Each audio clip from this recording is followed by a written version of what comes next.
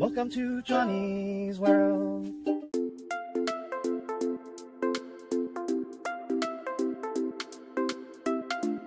Hi, welcome back to Johnny's World. Hope everyone is having a great week.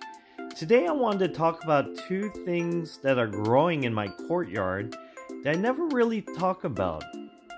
I'm very interested in both of them, so I wanted to make a quick video and show you. First up is my pineapple plants.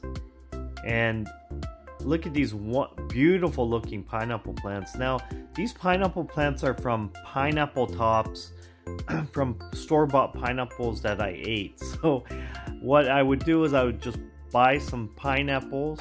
I love pineapples. I would eat it. And um, instead of throwing away the pineapple top, I would just cut it off and I would put it in the windowsill in a cup of water and just have it root out. And after it roots out, I would plant them, um, the pineapple tops in the soil. And as you can see, some of these pineapple tops are doing really well.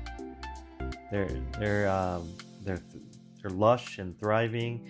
Now some of these, like this one right here, uh, the core of the pineapple rotted away, and I almost threw it away thinking that the pineapple top was dead, the pineapple plant was dead. But look, look, there's a side shoot that sprang up. So even when you have a, uh, a pineapple top that rots in the middle, like this, don't throw it away. Um, a side shoot may form just like these. So, um, yeah, these are my pineapple tops. And if you watch my prior video, um, and I'll put that link, video's link in the description below, I show you how I take a pineapple top and I, how I root it.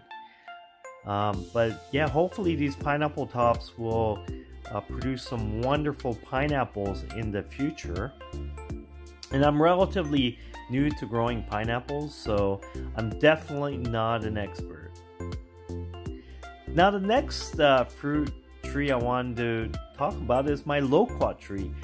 Now, this loquat tree I planted maybe about three or four years ago, and I was almost to cut it down. If you watch my prior video, you'll know that I was so frustrated with this loquat tree because it never flowered. And look, it is flowering for the first time this year. So there's there's flower blooms everywhere on this tree. And just a few months ago, I was almost about I, I almost chopped this tree down. But look at that. Wonderful flower bloom cl clusters. And hopefully this uh, loquat will produce some wonderful loquat fruit in the in the future. Now, this is a big Jim loquat variety. So, and this tree is beautiful. It's very tropical, and now it's uh, has flower blooms, and hopefully it's fruiting soon. What can I ask for more? Well, thank you very much for watching. If you like this video, if you like this channel, please press the like and subscribe. Thank you, everyone.